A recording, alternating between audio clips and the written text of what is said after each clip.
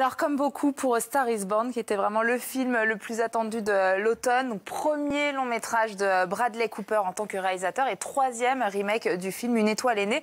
Alors on connaissait Bradley Cooper, le réalisateur, l'acteur révélé par la saga des Very Bad Trip. Eh bien on découvre Bradley Cooper, le réalisateur. Et alors tout le monde s'extasie à Hollywood, on le compare même à Clint Eastwood.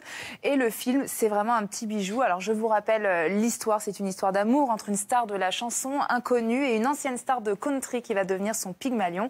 Donc Bradley Cooper face à Lady Gaga, ça donne ça. Here's what we're gonna do. You come sing that song. What I love. No, I can't do that. Here, come, here we go. It's not funny. Jack. Look at me. All you gotta do is trust me. That's all you gotta do.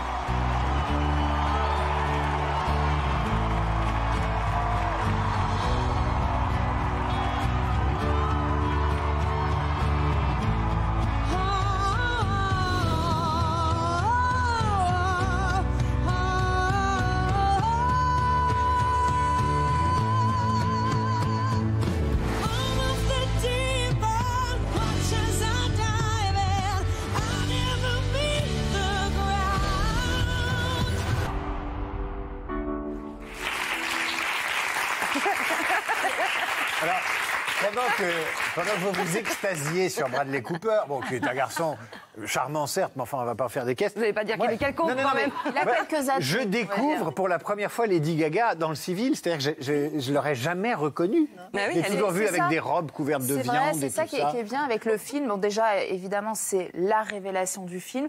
Et oui, on a l'habitude de voir euh, Lady Gaga qui se cache derrière euh, ses artifices. Elle est tout le temps grimée avec du maquillage, des costumes absolument euh, dingues. Et là, elle se met à nu devant la caméra de Bradley Cooper. Elle est touchante, elle est toute en sensibilité, évidemment. Elle chante euh, du tonnerre. Et Bradley Cooper, qui a suivi deux ans de cours de chant, qui a travaillé quatre ans sur le film, euh, également est très, très, très crédible. Donc voilà, au-delà de l'histoire d'amour aussi, ce qui est intéressant, c'est que ça montre les dessous de la construction de- de- d'une star et puis les travers de la célébrité. Donc voilà, c'est vraiment un petit coup de cœur. Démarrage un peu décevant euh, puisque nous sommes jeudi, donc le film est sorti hier. 46 000 entrées en France, donc il ne faut pas hésiter à y aller parce que Ça vaut, vraiment, ça vaut le coup. ça vaut le coup. Il y et- a Bradley Cooper, film, on euh, risque de, de vous contrarier. Non, non, non, au contraire, au contraire. Euh, bah, Barbara Streisand, qui a joué dans l'un des euh, remakes, disait cette, histoire est faite pour être racontée tous les 20 ans. Bah, elle a raison. Voilà, ça vaut le coup de, raconter cette histoire.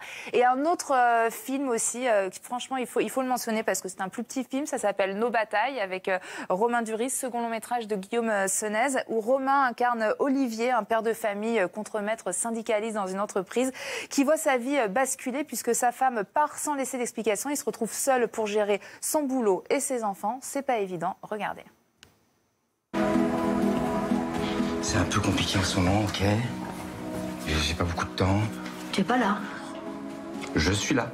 J'ai pas raconté, on l'a vu, on était là, on était ensemble. Je veux dire, tu sais, Rose, maman est partie, on sait pas. On sait pas pourquoi, on sait pas quand elle va revenir, on sait, on sait pas.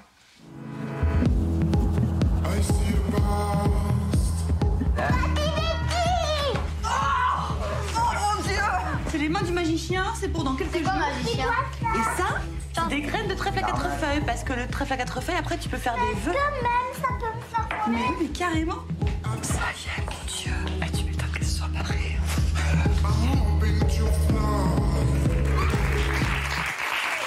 C'est vraiment très réussi. Romain Duris, c'est patent. Laetitia Doche, que vous avez vu dans la bande-annonce, qui joue sa sœur dans le film, génial. Et voit très, très, très beau film. euh, Vraiment à aller voir. Merci beaucoup, Laurie.